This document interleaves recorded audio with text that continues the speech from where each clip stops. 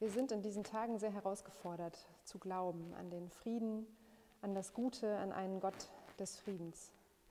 Ich sehe so viel Leid und das Leid ist so unnötig und so sinnlos. Wie soll ich da an einen Gott glauben, der Frieden mir verheißt? Und doch, Himmel und Erde werden vergehen in der Ukraine und an vielen anderen Orten in der Welt und Gottes Wort steht unverwüstbar inmitten von diesem Chaos. Und die Bibel traut sich weiterhin, uns vom Frieden zu erzählen. Die Bibel ist ein dickes Buch, in dem viele Geschichten stehen über Krieg, Hoffnungslosigkeit, Flucht, Zerstörung und Leid. Und trotzdem traut sich die Bibel, uns heute vom Frieden zu erzählen. Beim Propheten Jeremia im Vers 11 steht, so spricht Gott, ich weiß, was ich mit euch vorhabe. Ich habe Pläne des Friedens und nicht des Unheils. Ich will euch Zukunft und Hoffnung schenken.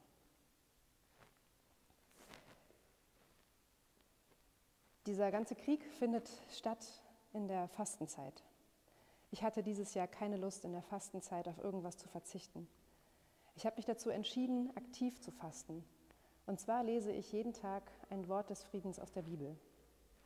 Ich schaue vielleicht einen Gottesdienst im Fernsehen oder ich schaue eine Andacht auf YouTube, wie Sie jetzt gerade, oder lese einfach für mich selber in der Bibel. Und ich merke, es funktioniert. Die Worte des Friedens, die Gott für uns gedacht hat, sie setzen einen Kontrapunkt zu all dem Unheil in unserer Welt.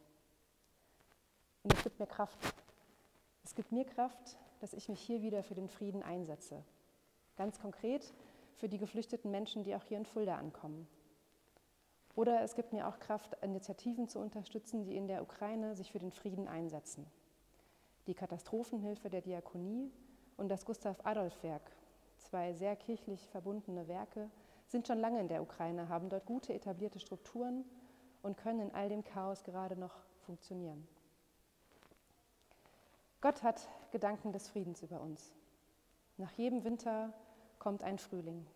Pflanzen, die im Winter absterben, beginnen im Frühling neu zu blühen und neu zu wachsen.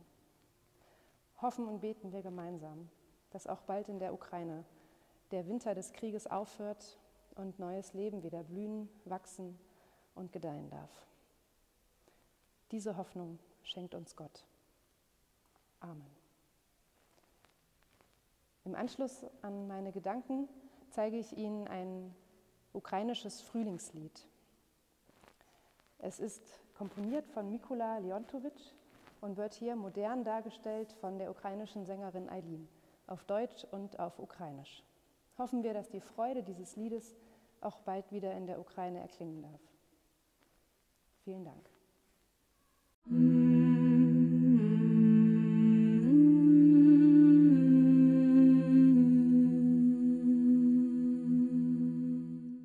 Shadrach, Shadrach, Shadrivochka! here flew the swallow from afar, started to sing lightly loud, asking the master to come out. Come here, oh kind master, it's time in the sheepfold, wonders to find. Your lovely sheep have given birth to little lambs of great worth, all of your wares are.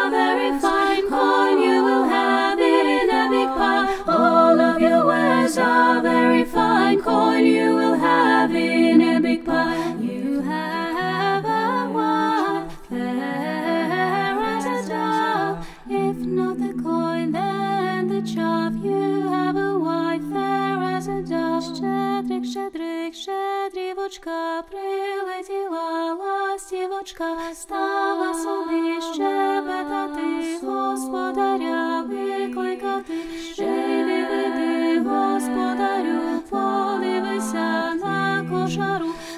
там овечки покотилися, ягнички народились, тебе товар весь хороший, будеш мати мірку грошей, тебе товар весь хороший, будеш мати мірку грошей, тебе жінка чорноброва, хоч не розчіто полова,